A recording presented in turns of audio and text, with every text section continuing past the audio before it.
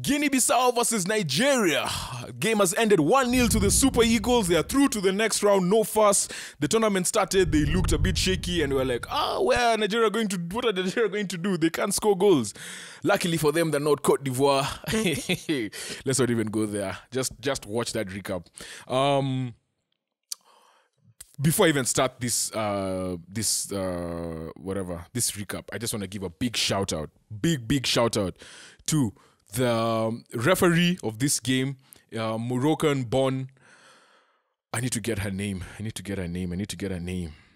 I feel like she did a really good job. She was quite decisive, quite definitive. When she's telling you something, it's like, yo, it's me. She was she stamped her authority in the game. And I was I was impressed because many a time you don't you don't get especially when you once you hit a female referee, and we know we are Africans. We know how our fellow Africans just think women cannot do anything in sport, right? So for CAF to put her out there and show that she's very competent and so good at what she does, I am so proud of her. Bouchra Karboubi, I think that's her name, Bouchra Karboubi. Um, she refereed this game, and obviously, she was also a referee in the Women's World Cup. She ref two games Costa Rica versus Zambia and USA versus Vietnam. And the entire crew was actually all female. I, I don't have the names of the two linesmen, but lineswomen, assistant referees, let me call them that. Um, but yo, I'm so proud of them and keep going, keep going. Let's do this.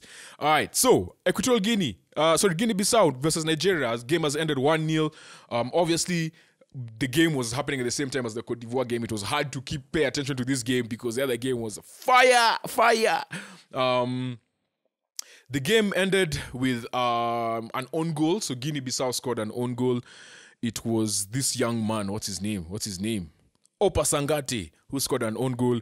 Obviously, the game, the, the, the goal came from a long ball that came to Moses Simon. Moses Simon started this game as well. Iwobi was benched for this game.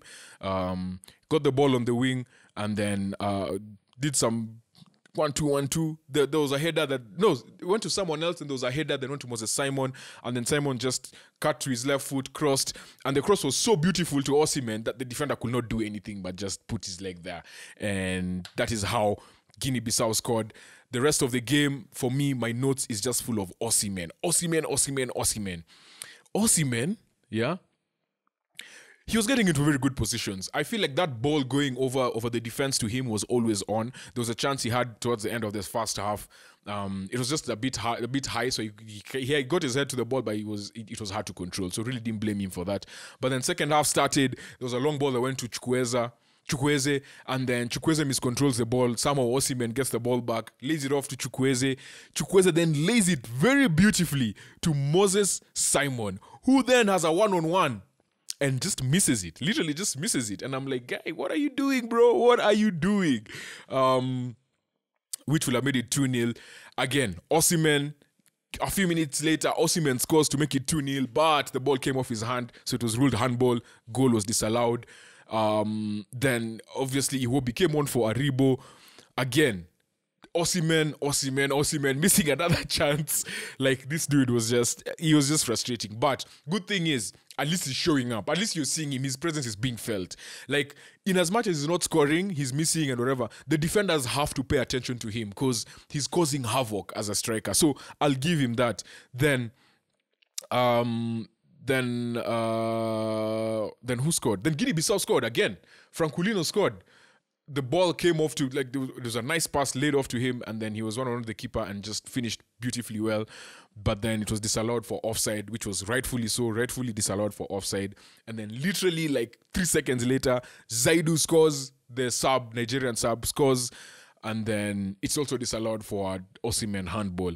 And I was just like, Osimhen, yes, you're doing, you're everywhere, but impact. You need to impact the goals. At least he's impacting winning. That's the that's the thing, right? He's there. He's impacting winning. He's only gotten one goal in this tournament, but he's causing havoc and he's impacting winning. He's actually what he's doing is actually um, impacting winning. So he did he did he did okay. Like I'll I'll give him that. But all in all, Nigeria qualify for the round of 16 no fuss they finished they finished second in the group behind equatorial guinea who uh, just did, did did a thing man just did a thing against the hosts.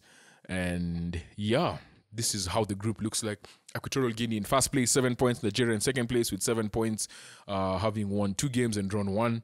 And then Cote d'Ivoire in third place with a minus three goal difference. They are waiting to see how the other groups go, but it's looking bleak. And Guinea Bissau, who gave it their all today and actually really fought. I, I believe all their games were, I mean, other than the Equatorial Guinea one, the other two games, they really gave. They really gave a game to these other two teams. Um, they managed to score two goals as well, which was I think the first time they scored in. I'm not sure. I may be guessing. That's I may be guessing that statistic, but at least they got on the score sheet. They're getting that experience, and it's good to see them keep playing. They really gave Nigeria a scare towards the end, and they were very close to snatching. Had a few opportunities, uh, a few good saves, a few shots that went wide, but they and, and disallowed goals. You know, so this game, by the way, had three disallowed goals. The other game had two disallowed. There were five goals disallowed in Group A alone. Um, but yeah, that's how the group ends. And those two teams, Equatorial Guinea and Nigeria, move on to the round of 16, and Cote d'Ivoire have to wait their fate.